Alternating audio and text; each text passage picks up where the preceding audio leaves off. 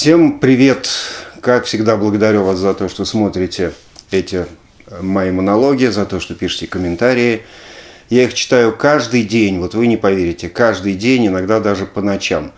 Не на все отвечаю, потому что иногда у меня нет ответа. Нет ответа. Такие вопросы задаются, на которые нет ответ. Да. Но иногда отвечаю. А если не отвечаю, то уж извините, может быть, времени не хватило, а может быть, нет ответ. Да. Так что пишите, очень интересно все. Вот АРМ у меня тут стоит первый. Слушаю его, что-то как-то вот буквально два дня подряд слушал. Вспомнил молодость, очень хорошая пластинка, обязательно про нее поговорим. И в этой связи многие, наверное, думают, уже, наверное, составилось впечатление обо мне у некоторых, что я не люблю тяжелый рок. Ну, это, конечно, очень далеко от истины, потому что как я могу не любить тяжелый рок, если я вырос в Советском Союзе, если я был советским школьником? Покажите мне хоть одного советского школьника, советского, настоящего, не 80-х, там, каких-нибудь конца, а настоящего советского, как человек, который учился в школе в 60-е и 70-е годы прошлого века. Вот там настоящие советские школьники. И кто из них не любит тяжелый рок? Найдите мне такого, хоть одного. Не найдете никогда. Многие говорят, что нет, я не люблю БББ, я люблю другую высокоинтеллектуальную музыку, это все вранье. Потому что даже Борис Гребенщиков в свое время, выпивая водку, с товарищами сидел и слушал Come Taste the Band с большим удовольствием. Purple, если кто не, не в курсе. Витя Цой любил в свое время, будучи молодым еще, советским школьником, любил Black Sabbath. На стене у него висел плакат Motorhead, который он сам нарисовал – и слушал иногда тоже эту группу с большим восторгом. Так что все мы оттуда, все мы из этого страшного тяжеляка. Вот на мне нарисовано здесь Deep Purple, но сейчас не о Deep Purple, сейчас о тяжелом наследии группы Deep Purple, а именно замечательные две пластинки группы Warhorse. Вот это первая, которая мне нравится больше всего – Вторая Red Sea, правда, мне тоже очень нравится. Она тоже очень хорошая. Но как-то первая она пришлась совсем, совсем уже крепко. С этой группой я познакомился сравнительно поздно, уже не будучи советским школьником. Как-то не попадались эти пластинки на толчке. А ну, где-то уже, наверное, ближе к 90-м, наверное, как-то я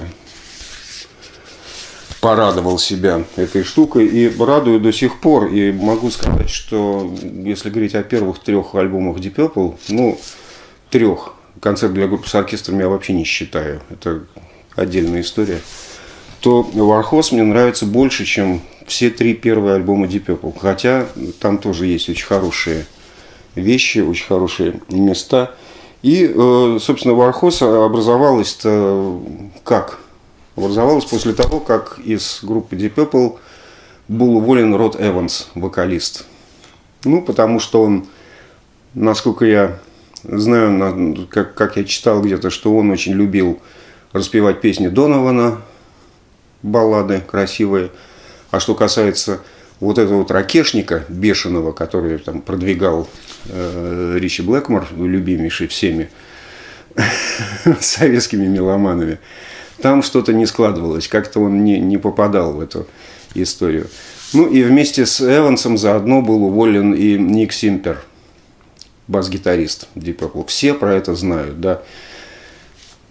Ушли их вдвоем.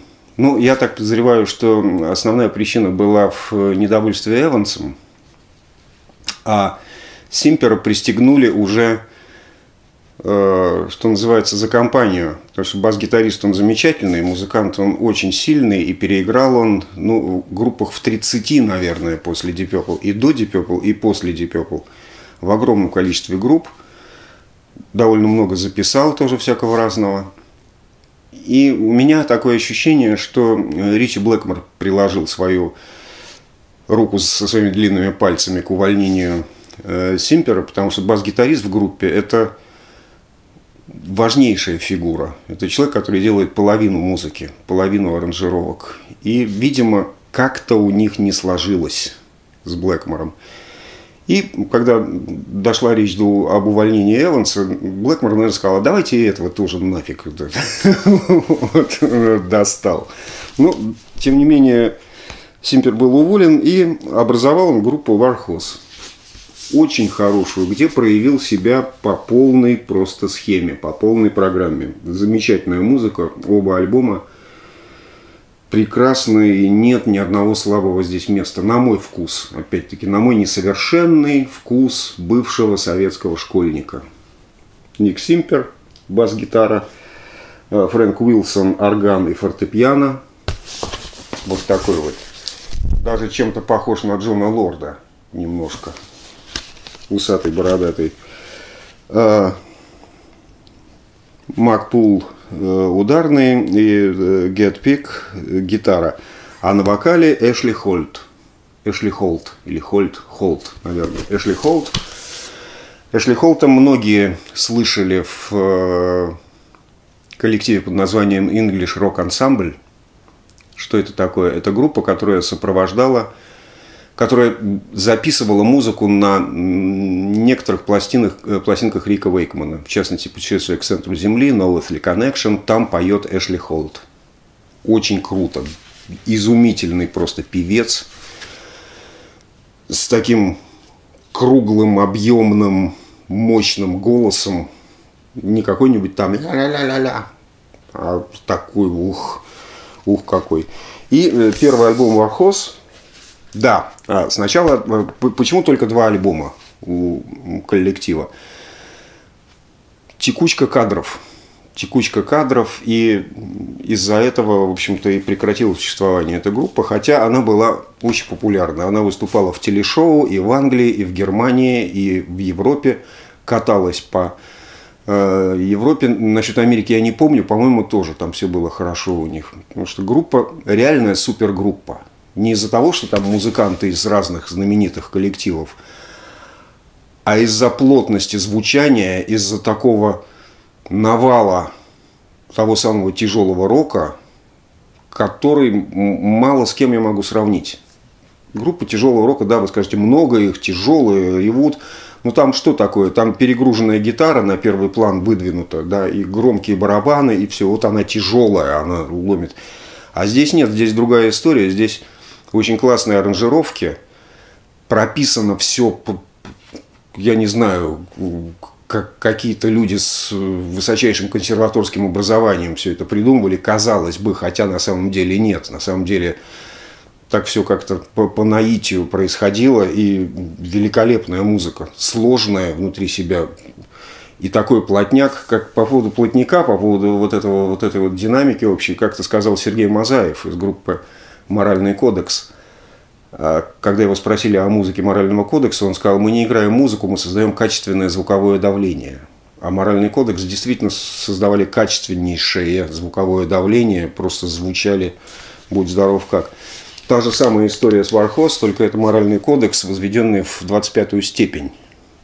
Хотя музыка другая. Музыка это 69-й год, да, это, это тот самый хард, многие называют его heavy rock еще. То есть это не хард рок еще такой бешеный, который появился после записи пластинки In Rock на Deep Purple, а heavy rock.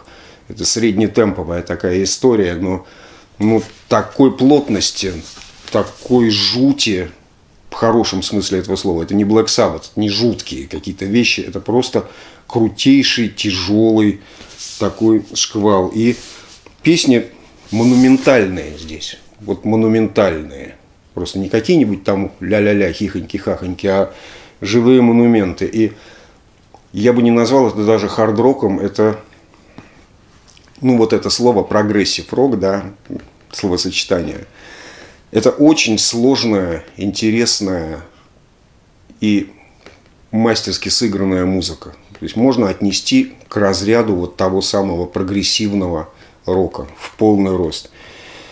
А, на первом альбоме, ну, начинается все с э, штуки, которая как бы основана на ритм-н-блюзе, там такой ритм-н-блюзовый риф тяжелый, начинается это все вообще с органа, из, из, из тишины, из, из темноты выплывает вот этот Хаммонд, и понеслась гитарная эпопея с прекрасным вокалом, И, и, и достаточно, в общем, традиционно. Ну, дальше No Chance, полотно, медленное, душераздирающее, просто с э, около классическими органными историями, с отсылками там к Джону Лорду немножко, но как-то более, может быть, даже более академично в хорошем смысле, хотя очень, очень роково, очень все жестко но более как-то скромно по аранжировке. Никто не лезет вперед, никаких вот этих нет выходов на авансцену с гитарой или с органом. Вот я сейчас покажу, как я умею играть, а все вместе, все вот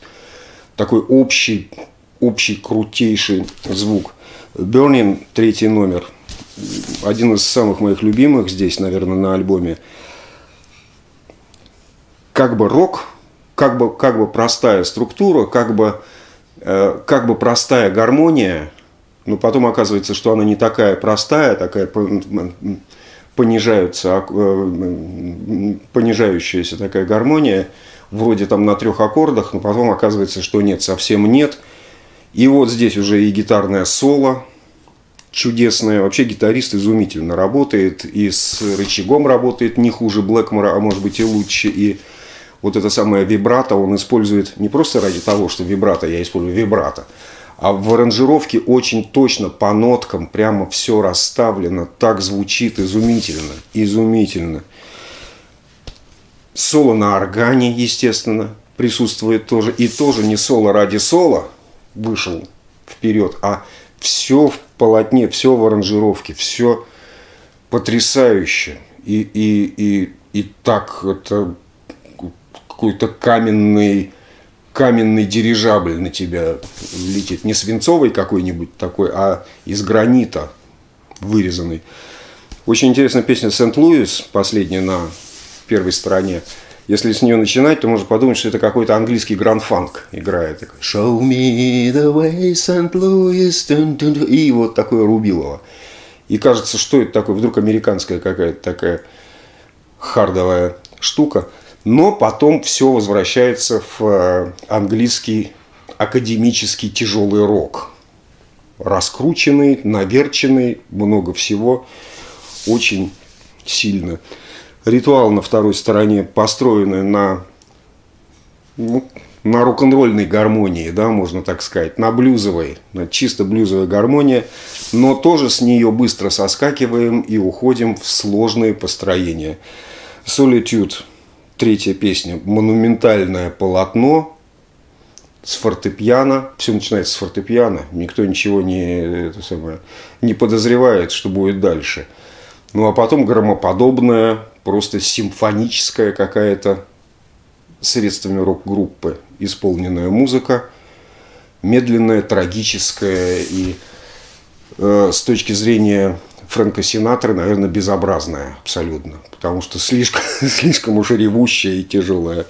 А Woman of the Devil, финальная песня, это бенефис Эшли Холта.